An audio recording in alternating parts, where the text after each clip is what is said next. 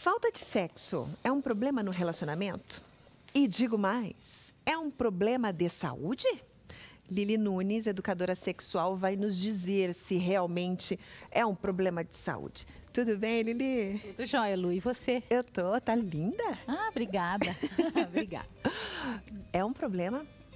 A de falta saúde. de sexo? Olha, o sexo, ele é um exercício que acompanha a humanidade. Então, se ainda tem gente no mundo, é porque tem gente fazendo sexo, certo? É mesmo. é, eu, eu acredito que sim. Não é? Então, o que acontece é o seguinte: por ser um exercício físico, de uma certa forma, ele acaba fazendo bem até para a saúde do coração. Aham. E como ele leva ao prazer, ele também está conectado com os hormônios liberados pelo cérebro no momento do prazer, no momento da satisfação e do amor que liga as duas pessoas. Aham. Ou, enfim, uma conexão afetiva qualquer que não necessariamente o amor. Enfim, as pessoas fazem sexo por várias razões, desde que traga prazer, ok. Certo. E isso o cérebro está liberando hormônios voltados para a felicidade e isso traz uma sensação de bem-estar. Consequentemente, te traz toda uma autoestima, porque você se sente desejada quando você deseja, então é um efeito dominó. Aham. Né? E é claro que se é um casal que está que, que tá interagindo, e isso acontece com um, necessariamente está acontecendo com o outro. Então, quanto mais sexo bom acontece, mais conectado esse casal está. Melhor a condição cardiovascular, porque o coração está trabalhando, o cérebro está liberando hormônios de felicidade e de prazer. Então, esse seria o cenário ideal. Aham. Por outro lado, a falta de sexo te tira isso tudo. Aham. O seu cérebro não se exercita com liberando hormônios de felicidade e prazer. Uhum. O seu coração não é trabalhado da mesma intensidade. Então, assim, se você. Ah, mas eu faço exercício físico e me alimento corretamente. Perfeito. Melhor Aham. ainda. Se você ainda tiver o sexo junto, arrasou. Os Aham. seus riscos de infarto estão bem reduzidos. né? Agora, se Ah. você não tem uma alimentação saudável, é, não se exercita é, individualmente, enfim, caminhada, bicicleta, essas coisas, academia, e acha que vai chegar na hora do sexo e vai mandar super bem, ó, ó, ó, ó, cuidado, você pode ter uma surpresa durante o ato, que acontece também. Aham. Então, é um efeito combinado. Entendi. Né? É um efeito combinado. A endorfina, que é um hormônio é, liberado no prazer, ela é liberada tanto quando as pessoas se exercitam né, com atividade física, numa corrida ou numa dança, né? Numa atividade física qualquer, numa bike, uma trilha, como quando a pessoa come chocolate. Uhum. E também no momento do orgasmo. São, é, o- é o mesmo hormônio que é liberado. Então, aquela sensação de prazer, ela é comum a essas situações. Então, o sexo também te traz isso. Agora, para a saúde, então, é importante. É importante. É e para a saúde do casal? Ah, para a saúde do casal é fundamental. Uhum. O que que acontece? É claro que você tem que pensar um casal com cinco anos de com um ano de casado, 5, 10, 15 e ali por diante. Uhum.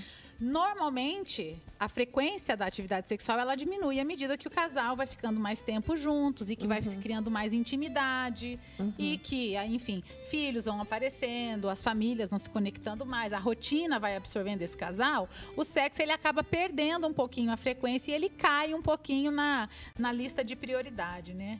Não devia. Ah, Não devia, Mas- principalmente no começo, né? ah. Agora, por quê? Você acha impossível reverter essa situação? Ou Não você acha é. possível? Depende do momento que o casal percebeu que isso daí tá fazendo diferença. Por exemplo, tem casais que nem se conversam.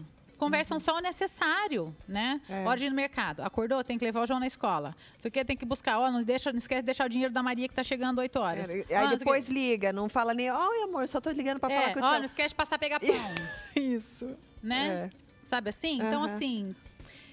Tudo bem, eu acho que tem, tem casais que vivem assim. Eu acho difícil você viver numa maneira protocolar. Parece que você está fazendo um checklist, né? Todo dia. Leva o João na escola, busca o João na escola, deixa o dinheiro da Maria, tanca a chave pra Maria.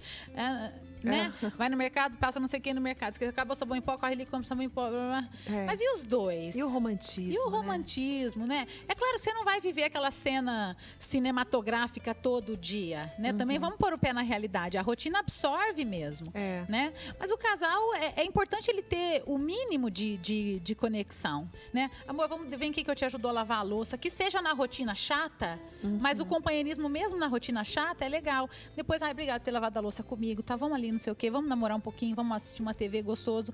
Enfim, vamos botar as crianças dormir, eu queria namorar você. Mesmo que você, ah, hoje eu não tô tão animado, ou não tô tão animada, mas ai, tô precisando, porque a última vez que a gente fez já tem uns 15 dias luz vermelha, sinal amarelo. Não deixa uhum. ficar vermelho, sabe? Assim, o sinal amarelo acendeu, uhum. é importante fazer o movimento. Então, ah, hoje eu tô morta, mas amanhã cedinho vou ter que dar uma surpresa, porque já tem um tempinho e eu sei que ele gosta. É. Né? Que tem e também é bom para mim, é claro, não é só vou fazer só por ele. É bom é. para mim também. Porque tem mulheres que reclamam o quê? Depois que começa, eu vou, mas o meu problema é começar. É. E tem homem que fala assim, poxa, minha mulher nem me procura também. É, ah, é. mas ele também não procura, procura, filha. Procura, uhum. não, você já tem. É só se esconder, daí o outro te procura. É, te procura. É, dá um jeito, né? Se esconde um na casa. Se esconde, vai pra sala, sei lá. É, dá um sumiço, enfim. E aparece uhum. tcharam, linda. Isso. Né? É. Então, assim, é, é, é, difícil, porque às vezes a gente fala, ah, ela fala é fácil. Não é fácil, porque eu também sou mulher, também tenho relacionamento, etc e tal. Então, a gente precisa se movimentar para manter isso. Uhum. Né? E agora, a pessoa que não tem um relacionamento e, e, quer fazer sexo, sente falta de sexo. Também acontece, né? A gente uhum. até brinca, nossa, tô precisando tratar da pele. tô precisando dar uma tratada na pele.